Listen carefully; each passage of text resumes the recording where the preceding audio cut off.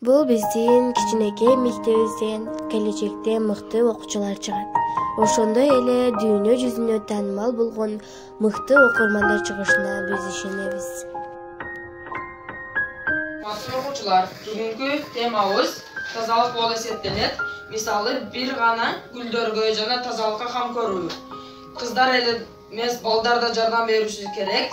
Себеби мектепке келгенден кийин баардыгы тең укуктуу кыздарды колдоп жардам берели